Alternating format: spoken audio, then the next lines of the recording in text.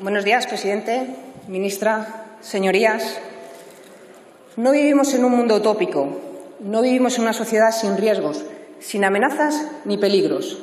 Al contrario, señorías, vivimos en un mundo que está lleno de agresiones, bien sean en forma de perversidad humana, en forma de catástrofes naturales, en forma de agresiones físicas, psicológicas, económicas, sociales, digitales, guerras en todo su espectro o en forma de pandemia. Ojalá viviéramos en ese mundo utópico donde nada de esto existiera. Ojalá así fuera. Pero, señorías, mala suerte. No vivimos en esa sociedad. No nos ha tocado. Alcanzar ese modelo de sociedad utópica debe ser nuestro objetivo. Dejar el mejor de los legados a nuestros hijos e hijas, la meta. Una sociedad donde la convivencia entre personas libres e iguales, que no uniforme, sea pacífica, sea sin agresiones ni amenazas, sin violencia, sin odio en cualquiera de sus expresiones. Ojalá un día las Fuerzas Armadas no fueran necesarias, pero hoy día lo son. Hoy día lo son. Necesitamos unas Fuerzas Armadas que garanticen nuestra seguridad, unas Fuerzas Armadas que sean el último baluarte en la respuesta a las violencias que nuestra sociedad recibe, unas Fuerzas Armadas que garanticen la pervivencia y mantenimiento de nuestros valores democráticos y de convivencia. Señorías, en este mundo imperfecto necesitamos unas Fuerzas Armadas, nos guste o no, y, está en nuestras manos que éstas sean el fiel reflejo de lo que nuestra soberanía popular decida que sean. Son nuestras Fuerzas Armadas, las de ustedes, las suyas y las mías. En nuestras Fuerzas Armadas caben todos.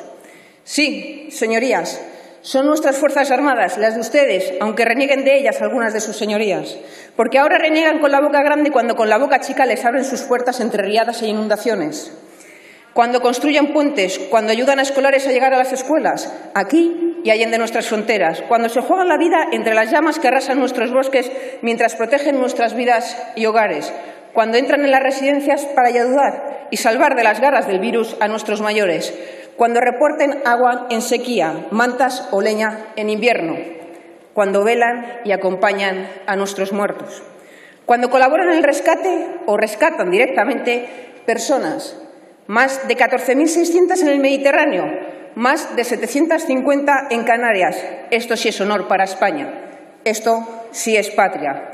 Y sí, por supuesto, Nuestras Fuerzas Armadas están instruidas y adiestradas para garantizar que están preparadas para el conflicto bélico si fuera necesario, en su aplicación en las misiones que le encomienda la Constitución, cumpliendo con ellos los mandatos de las Cortes como así estipula la Ley de Defensa Nacional, pues son las Cortes quienes controlan la acción del Gobierno en materia de defensa. Estos presupuestos en su, en su sección 14 son para nuestras Fuerzas Armadas, las de España. Sí, las que sirven a nuestra democracia y no al pasado, a nuestro presente y a nuestro futuro.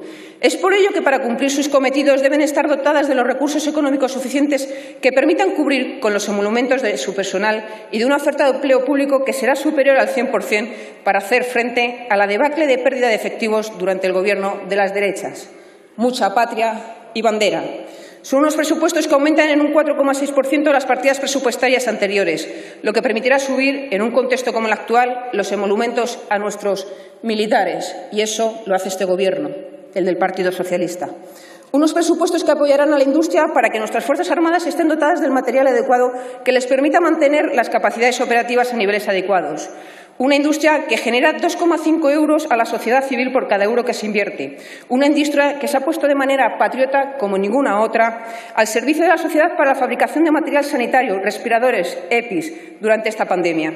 La industria que garantizó corredores logísticos para que el material adquirido en el extranjero llegara a España y no se perdiera por el camino. Sí, estos presupuestos también van de eso.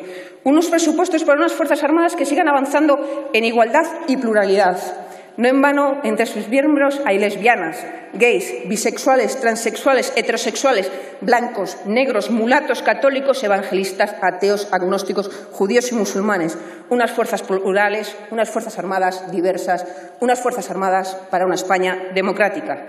Unas Fuerzas Armadas construidas y transformadas con el esfuerzo de muchos militares como el general Gutiérrez Millado, que en el 15 de diciembre hará 25 años de su muerte.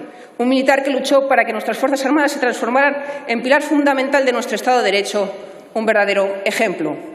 En definitiva, unas Fuerzas Armadas con valores democráticos que luchen por la libertad y no el libertinaje. Para la libertad me desprendo a balazos de, lo que han, de los que han revolcado su estatua por el lodo y me desprendo a golpes de mis pies, de mis brazos, de mi casa, de todo. Porque donde, unas cuencas vacías amanezcan, ella pondrá dos piedras de futura mirada y hará que nuevos brazos y nuevas piernas crezcan en la carne talada. Retoñarán aladas de savia sin otoño reliquias de mi cuerpo que pierden cada herida, porque soy como el árbol talado que retoño porque aún tengo la vida. Unos presupuestos en su sección 14 para la libertad, igualdad, diversidad, pluralidad, seguridad y, sobre todo, unidad. Unos presupuestos con una España democrática que deje atrás el pasado, unas Fuerzas Armadas del futuro. Muchas gracias. Muchas gracias.